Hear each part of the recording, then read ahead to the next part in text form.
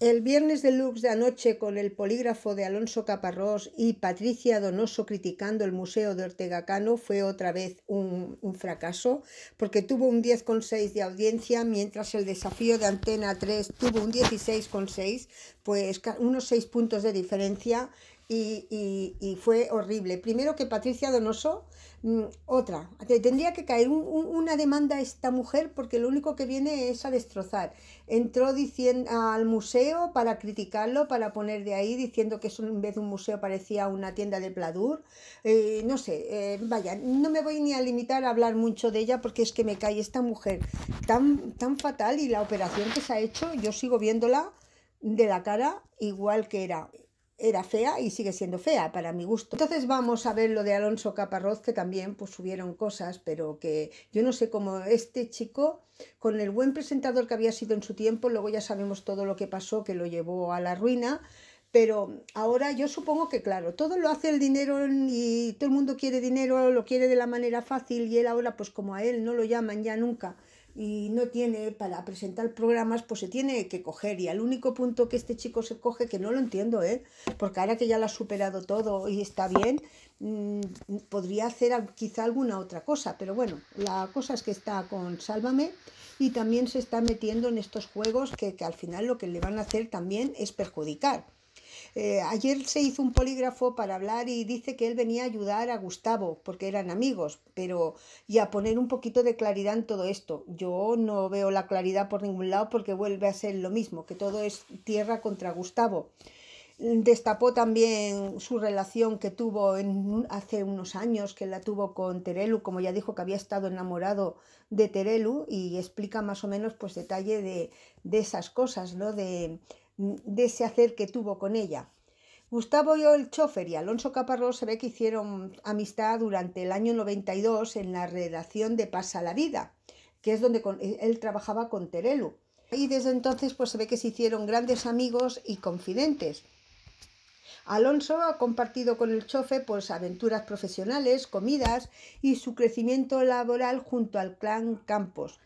Alonso Caparrós se somete al polígrafo de Conchita para ver si nos descubren la verdad no contada de Gustavo, el que hasta ahora pues ya sabemos que era la persona de confianza de María Teresa Campos y como un hermano para Terelu y Carmen Borrego. A día de hoy siguen con lo mismo. Eh, Alonso, que es una de las pocas personas que ha mantenido contacto con Gustavo, en estos momentos tan complicados que está pasando pues eh, este hombre. Eh, dice que se encuentra completamente destrozado, es normal, si es que con lo que le está cayendo encima a este hombre, que, que sea verdad o sea mentira, pero él de momento, aunque haya hecho todo esto, que tenga todas estas grabaciones, que lo tenga todo, él no había dicho palabra. Esto viene de Kiko Hernández, que es un traidor, que ya lo sabemos, él metió la pata a Gustavo confiando en personas que no debía, porque si tienes todo eso, guárdatelo para lo que hagas, si ha sido, como dicen, para protegerte, o si es porque algún día, pues cuando falte María Teresa y tengas problemas con, con Carmen o Terelu, o simplemente luego quieras ganar dinero, pues bueno, luego, pero ahora mismo él no, no ha hecho nada, sencillamente confiar en unas personas que no debe. Eh, decía que, que bueno, que es difícil romper una lanza a favor de él, decía Alonso, porque las informaciones que se han ido dando no le dejan en muy buen lugar. Él siempre ha sostenido que muchas de las cosas que estaba contando Kiko Hernández, pues sabe que eran verdad porque conoce a Gustavo. En la, en la máquina le han preguntado, ¿te ha confesado Gustavo que sigue siendo amigo de Belén Rodríguez? Ha dicho que sí y la máquina le ha dicho que dice la verdad. Otra pregunta. ¿Te consta que Gustavo ascendió a chofer de María Teresa gracias a la intervención de Belén Rodríguez? Sí, y también es verdad. ¿Fue Gustavo el chofer tu cómplice y gracias a su ayuda se produjeron sus encuentros carnales con Terelu?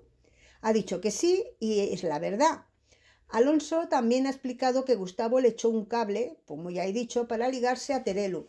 Trabajaban los tres en el programa y Gustavo me avisaba de cuando llegaba Terelu a su camerino. Tras la insistencia mm, de los demás colaboradores que le han empezado a picar y cuenta y cuenta y cómo fue y cómo fue la primera vez y cómo la, eh, lo que sabemos, ¿no? Que pican para tirar. Pues al final Alonso ha confesado que la primera vez con Terelu fue en casa de ella. Alonso también ha llegado incluso a reconocer que, que estuvo enamorado de ella. diciendo yo para ella era un juego, pero a mí ella me gustaba de verdad. Una de las preguntas también, ¿te consta que Terelu ha sido distante con Belén Rodríguez porque tenía motivos para desconfiar de ella? Ha dicho que no y miente, o sea que, que sí. ¿Tiene motivos Carmen Borrego para tener miedo de Belén Rodríguez? Sí, dice la verdad.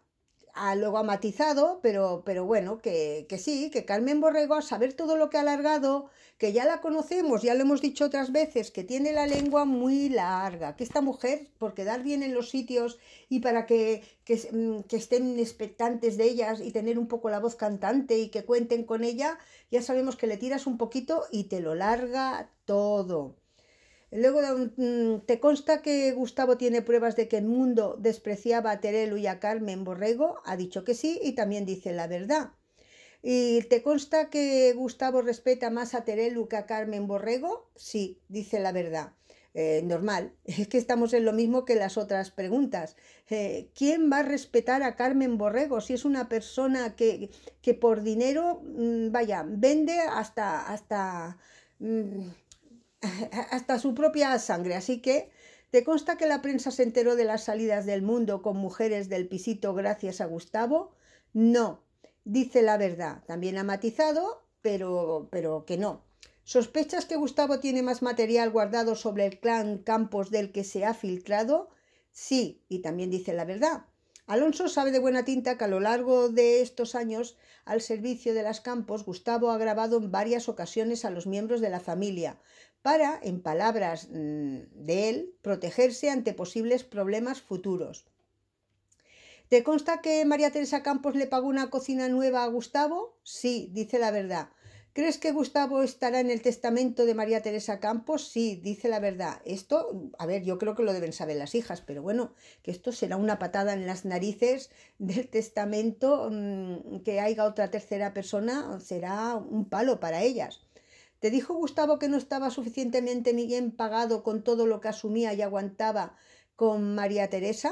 Aquí ha dicho que no y miente, o sea que sí que se ha quejado y normal, es que todo el mundo se queja de lo que cobran, todo el mundo, los que trabajamos y también y todo, siempre nos parece que, jolines, pues si se cobrara algo más, porque creo que el trabajo que estoy haciendo merecería pues que una recompensa un poco más o mi sueldo es corto, no sé, todo el mundo tiene un pro y un contra. ¿Consideras que Gustavo está esperando el momento adecuado para vengarse de las hermanas Campos? Ha dicho que no y miente. O sea que algo tendrá Gustavo, alguna cosa que le habrán, se habrán comportado mal con él, tanto Terelu como Carmen Borrego, que, estará esperando, pues lo que he dicho antes al principio, que cuando falte María Teresa, pues igual, si él mm, quiere ganar dinero facilito y además tiene algunas cosas en contra de ellas que le han hecho alguna jugadita que no se han portado bien con él, pues se vengará y ganará dinero y sacará todo lo que tiene, como todos los que están ahí. También ha explicado que aunque no cree que Gustavo esté esperando el momento de enfrentarse a Terelo y Carmen, sí que opina que el chofer tiene en la manga ases suficientes para esa batalla. Por si lo provocan, pues se defenderá. ¿Consideras que las hermanas Campos van a echar a Gustavo en cuanto tengan la oportunidad? Sí, dice la verdad. ¿Te consta que Gustavo piensa escribir unas memorias sobre los 30 años que lleva al lado de María Teresa Campos? Dice, sí, dice la verdad. O sea que nos vamos a tener que preparar algo que explique este hombre y, que las memorias de toda la vida y todo, que a ver, son 30 años, son, dan mucho para hablar ¿eh? y mucho para explicar, o sea que son muchas las vivencias que ha tenido que beber este hombre, vivir este hombre con, con esta familia y con María Teresa y saber de todo y de toda su vida. Pero bueno, mm, también tiene que, no creo que lo haga, más que nada será meterse con las hijas, porque no creo que tampoco quiera destrozar mucho más a María Teresa, aunque bueno, una vez que falte, mm, ¿qué más da, no? Bueno, ¿qué os ha parecido? Dejadme comentarios, dar me gustas y suscribiros al canal. Hasta pronto.